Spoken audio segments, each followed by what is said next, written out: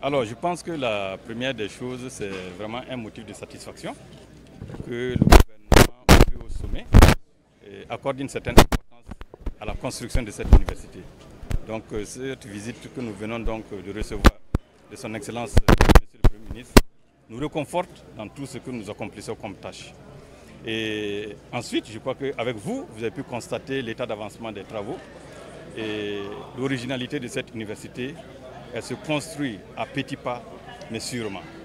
Et vous aurez remarqué qu'il y a un plan global d'aménagement où toutes les infrastructures sont géoréférencées et avec l'accompagnement du gouvernement, on espère rendre opérationnel ceci.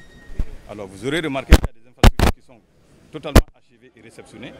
Il y en a qui sont en voie d'achèvement et il y en a qui sont donc bien sûr en phase euh, avancée de construction. Donc globalement, on reste satisfait de cette visite et cela nous réconforte et cela nous donne beaucoup plus d'énergie pour aller de l'avant. Alors avant de présenter, je dirais les infrastructures, je vais présenter d'abord l'Université Ouagadougou.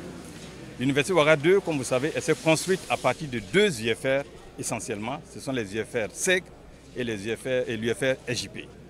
Et les gros effectifs viennent donc de ces deux UFR. Donc actuellement, nous comptons autour de 18 000 étudiants. Et naturellement, euh, comme l'a dit son Excellence, actuellement nous occupons une dizaine de sites en termes de location pour pouvoir permettre aux étudiants de suivre ces cours. Donc naturellement, il était judicieux quand même d'identifier un site où on aurait une vie communautaire commune. Donc comme vous l'avez remarqué, actuellement nous avons en termes d'infrastructures pédagogiques, il y a 10 000 places assises qui sont quasiment prêtes. C'est vrai qu'il reste encore des travaux de réflexion dû au fait que ces infrastructures n'ont pas été occupées pendant longtemps parce que c'est des infrastructures qui ont été livrées depuis 2013. Donc du fait de l'inoccupation, elles ont subi des dégradations. Mais globalement, nous avons 10 000 places assises. Naturellement, actuellement, il y a euh, une finalisation donc, de certaines infrastructures au niveau de l'UFST. Si ça venait à se réaliser, nous serons autour d'une capacité d'accueil de 12 000 places assises. En termes d'infrastructures sociales, nous avons une cité de 408 lits qui est entièrement prête, qui est presque équipée. Il reste apparemment seulement le dernier niveau. Et vous venez de visiter les trois autres euh, pavillons donc, euh, de la cité universitaire qui est construite par le projet Cité universitaire d'une capacité totale de 1512 lits. Donc ça veut dire à terme, on espère que d'ici décembre, en termes de cité, on aura globalement 2000 lits hein, disponibles pour les étudiants.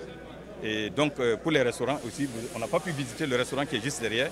Il y a un restaurant de 700 places entièrement prêt, presque équipé. Et il y a le restaurant ici également de près de 600 places qui est en voie d'achèvement.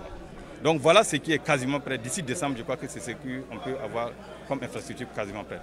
Naturellement, vous aurez remarqué qu'il y a des, amphithéâtres jumelés de 2 fois 750 et de 1500 et 1000 places qui sont en construction taux global de 40 à 50% Il n'y a pas de date précise, mais comme on l'a dit et comme son Excellence vient de le dire, on essaiera de réunir toutes les conditions, en tout cas le maximum de conditions pour que les étudiants puissent quand même trouver du plaisir à étudier sur place.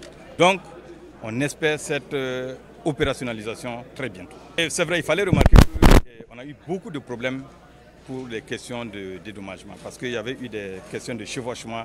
Mais heureusement, en une année, on a eu une équipe formidable, composée d'équipes, euh, je dirais, d'acteurs interdisciplinaires venant de toutes les structures euh, techniques qui ont travaillé à résoudre ces questions de chevauchement. Donc aujourd'hui, on peut vous dire que quasiment, on n'a plus de chevauchement sur les superficies de Ouagadougou. Donc la superficie est stabilisée à 1890 hectares.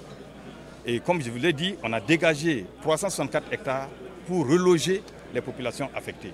Et donc il reste maintenant le processus d'indemnisation qui est en cours.